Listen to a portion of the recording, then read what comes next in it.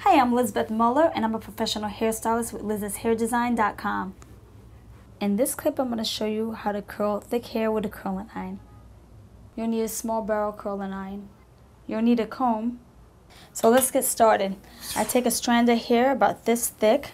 Her hair is thick, so we're going to take a nice good piece of hair. I'm going to use a curling iron on her head. I'm going to proceed to go by the root and twirl the hair, twirling it as it curls, as I'm curling it.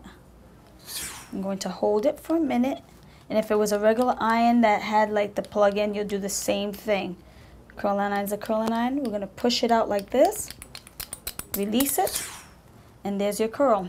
She's got thick hair. You see a nice big thick curl. You're going to take nice good sections to do this, like about maybe quarter inch section, and you're going to curl the hair like that. You would just take it again by the root, twirl the hair around,